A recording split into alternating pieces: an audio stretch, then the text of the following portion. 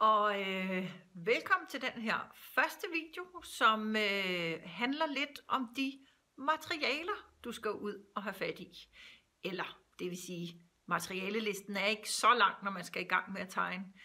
Øh, hvis jeg skal tilbage til ham, min gammel billedkunstlærer, så sagde han altid til mig, at øh, Lise, du tegner jo ikke bedre, bare fordi du får en god blyant i hånden.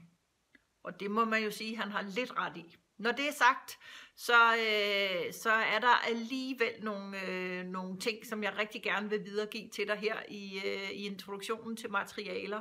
Så øh, kig med, så forklarer jeg lidt om de materialer, jeg bruger. Øh, nogle af tingene er jo lidt en smagssag, og igen kræver det, at, øh, at du får prøvet lidt forskellige ting og, og tester, hvad du selv synes er det bedste. Men øh, jeg vil gerne give dig mine, mine bedste tricks, eller mine bedste tips omkring materialer videre. Og jeg skal skynde mig lidt at sige, inden jeg går i gang, at øh, jeg bliver ikke betalt af nogle af de her mærker, jeg, jeg nævner her i, i den her introduktionsvideo til materialer. Det er simpelthen nogle, jeg anbefaler, fordi det er dem, jeg selv køber og bruger. Så øh, kig med her og, øh, og se, hvilke materialer du kunne have lyst til at prøve af. Og så vil jeg bare sige, kast dig ud i det. God fornøjelse. Og tegner. Jeg har øh, legnet lidt forskellige ting op fra mit penalhus her, som I kan se. Og øh, jamen, en af de væsentligste ting, når man skal tegne med blyant, det er sjov nok blyanten. Men en blyant er jo ikke bare en blyant, når man gerne vil tegne. Øh, hvis man øh, går lidt i dybden omkring de her blyanter, så står der sådan et lille, et lille bogstav, kombineret nogle gange med et tal. Nu lige den her står der kun et bogstav, men hvis jeg tager den her, skal jeg lige finde den gang, det var her, så står der et bogstav og et tal. På den her står der 2B. Jeg ved ikke, ikke om man kan se det, eller det bliver for, det bliver for, for uklart. Men der står i hvert fald 2B på den her blyant, og der står et H på den anden blyant her. Og de indikerer, øh, hvor hård eller hvor blød stiften inde i blyanten den er. Og det betyder, at øh, jo højere tallet er foran sådan et B der, jo blødere er selve blyantstiften, og jo mørkere kan den også tegne. Og med de hårde, altså hårdhederne her, hvor der står H, der kan også stå nogle tal foran, jamen det betyder simpelthen, at blyantstiften herude er temmelig hård, og dermed tegner den lysere, end den bløde gør. Den bløde er rigtig god til alle de her kontraster. Og som I kan se, så bruger jeg absolut de bløde mest. Øh, det er derfor, den er så lille. Jeg spidser blyanter konstant og hele tiden, fordi jeg kan godt lide, der er en spids på. Og øh, det leder mig så hen til det næste redskab, som jeg selvfølgelig også har, nemlig den her stiftblyant. Øhm, det var fordi, jeg blev ved med at gå og spidse de her blyanter konstant og hele tiden, øh, fordi jeg skulle bruge en spids. Øh, jeg kan godt lide at tegne med en spids blyant. Øhm, så når jeg tegner øh, selve skitsen og, og selve omridset eller små fine detaljer, jamen så bruger jeg min stiftblyant. Og øh, stiftblyanten, den er selvfølgelig født med nogle helt almindelige stifter, som man kender dem fra skolen. Men dem kan man også købe i forskellige hårdheder. Øh, den pakke, jeg har her, kan man se, det er øh, en 2B. Altså, øh, den er rimelig blød og øh, er rigtig god til at, at lave de her forskellige tegneelementer med. Øh, Blyanterne kan man købe hos de fleste boghandlere, både stiftblyanterne, men også, øh, også de her tegneblyanter. Dem jeg har her kommer fra et firma, der hedder Derwent, og det er dem, jeg har brugt ja, allerflest af, i hvert fald af blyanterne. Det kunne også være dem fra firmaet, der hedder øh, Faber-Castell, som det her bløde viskelæder kommer fra. Det er, øh, det er dem, jeg bruger allermest. Så er jeg for nylig faldet over øh, sådan nogle her, som er øh, lavet, hvor, hvor stiften her er lavet af grafit i stedet for. Grafitten er lidt blødere øh, end blyantstiften er.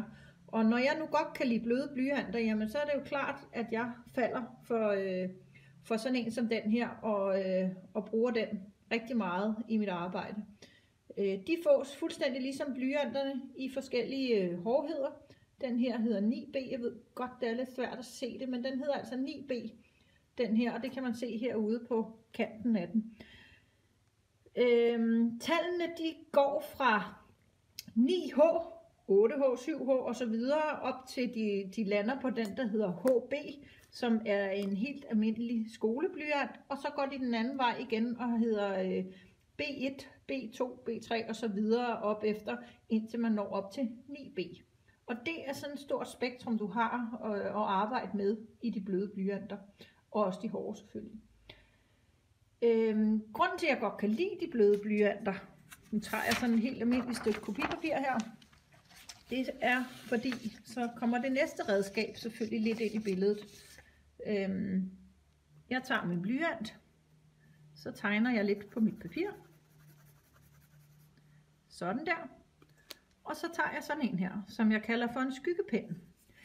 Den kan ligesom trække skyggen, eller hvad skal man sige, blyanten lidt sammen, så jeg ikke får de her øh, overgange, øh, streger og så videre i det her, jeg lige har lavet. Jeg kan simpelthen trække min farve i blyanten lidt sammen, og så kan jeg tegne noget af det op igen, hvis jeg har lyst til, at det skal være mørkere i den ene ende.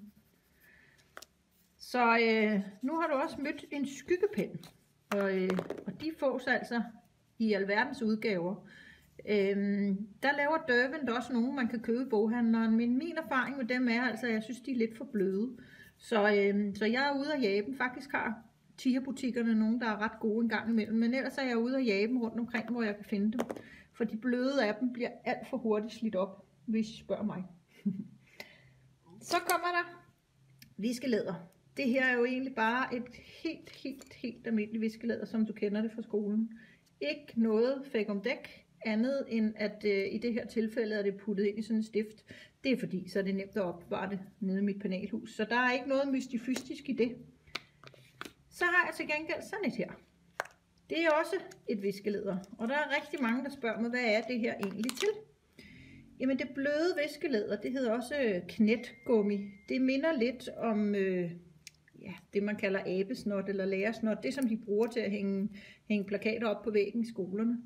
Men det her kan, det lille trick her, hvor jeg kan hive et lille stykke af, og så kan jeg ligesom forme det lidt, så jeg får en spids på mit viskelæder, og dermed kan fjerne noget i et lille bitte område, hvis jeg vil det. Det kræver, at man lige dupper på det et par gange, kan I nok se, men så kan jeg fjerne en lille bitte bitte rund ting. Ellers, så kan jeg holde det samlet, og så kan jeg duppe noget af den farve af. Så kan jeg tone ned, hvis jeg har fået gjort en skygge lidt for mørk. Så kan jeg simpelthen duppe lidt af skyggen af igen, og få tonet farven lidt ned. Så øhm, det var lidt omkring de materialer, jeg benytter. Jeg vender tilbage lige om lidt omkring papir. Så øh, ud til boghandleren eller den nærmeste kunstnerforretning og øh, dyk ned i deres materialer, se hvad de har og prøv dig lidt frem. God fornøjelse.